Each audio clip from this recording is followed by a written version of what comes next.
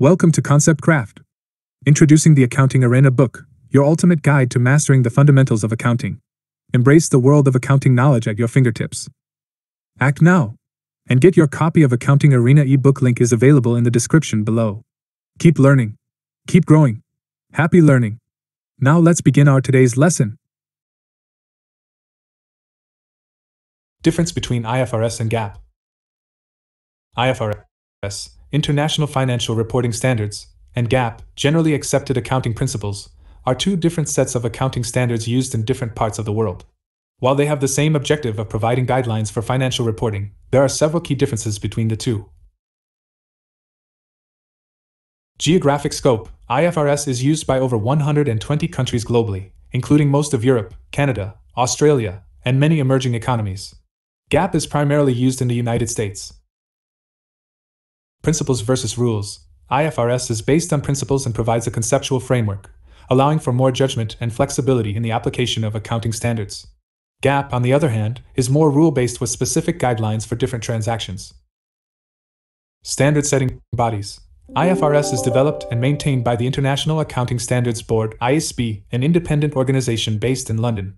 GAAP is set by various standard setting bodies in the United States, including the Financial Accounting Standards Board, FASB, and the Securities and Exchange Commission, SEC.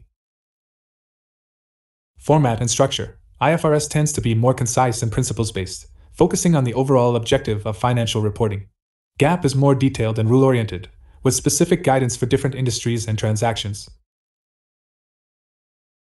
Presentation of financial statements IFRS allows a choice between presenting financial statements using a single statement of comprehensive income or separating the income statement and statement of comprehensive income. GAAP requires the separation of the income statement and statement of comprehensive income.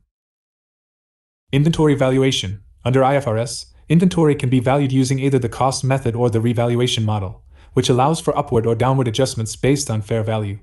GAAP generally follows the cost method and prohibits upward revaluation.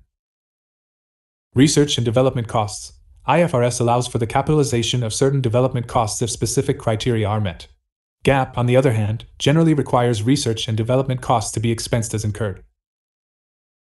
LIFO, last in, first out method, IFRS prohibits the use of the LIFO method for inventory valuation.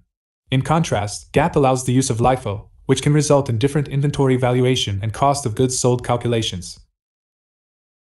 These are just some of the key differences between IFRS and GAAP.